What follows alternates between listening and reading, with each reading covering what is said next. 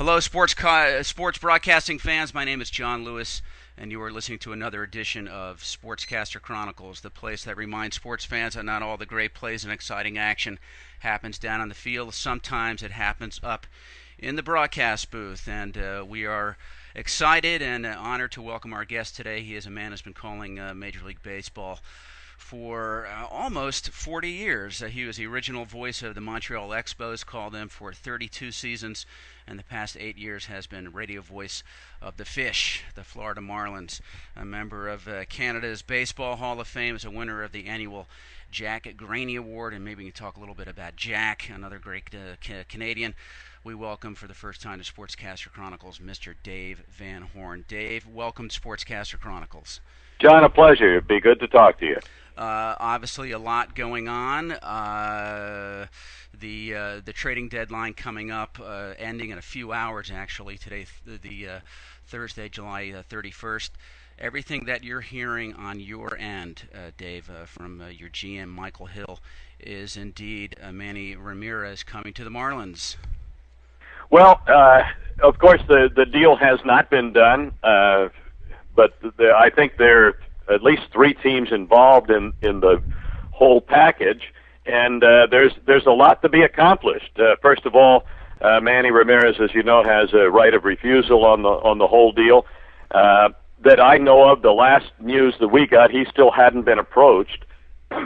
So, uh, yeah, they're working hard at it. It, it. it can get very convoluted when you're dealing with a lot of contracts and moving people. And then uh, if if it's a three-way deal, why you've you've got uh, that third party that's also involved, and uh, these things have a have a way of changing minute by minute.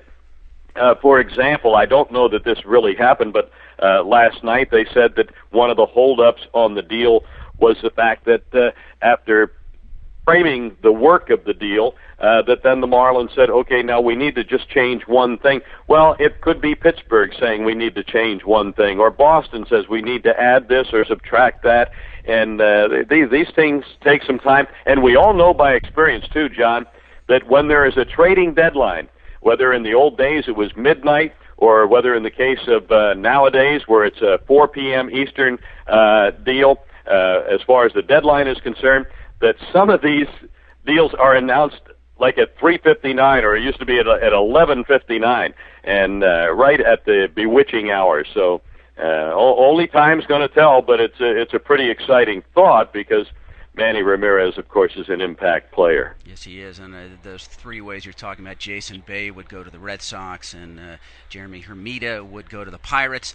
Uh, Dave, to me and a lot of baseball experts, this this deal is uh, is strange to say the least. It doesn't make sense on a lot of levels. Uh, first of all, the Marlins known for having a very low, uh, you know, payroll, $22 million, one of the lowest in the league, and not the lowest.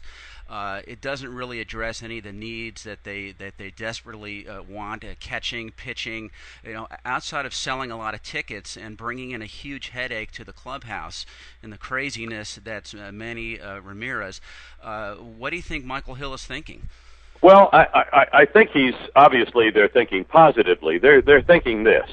Uh, it would be really a matter of having Manny uh, in a Marlins uniform for two months, and then it would be structured in such that uh, he would become a free agent after that. So uh, the the hope is that he would come down here have a, have something to prove in those two months, uh, to to perhaps repair a, a little bit of a damaged uh, image, and and as well stay out on the field and play hard every day and help this young Marlins team. Uh, the Marlins' objective this year is to get to the playoffs and then go as far and as deep into the playoffs as they possibly can. That's what they want to do. I don't think there's any chance in the world that uh, Manny Ramirez would be here beyond uh, just the final two months of, of this season. So their hope is that he would come down here really charged up and excited about uh, the opportunity uh, to show the baseball world that he's still uh, Manny Ramirez as far as the bat is concerned and the production is concerned, and that's what the Marlins are interested in. Another note, too. Manny has a home right here, just minutes from the ballpark, as a matter of fact, over in Weston.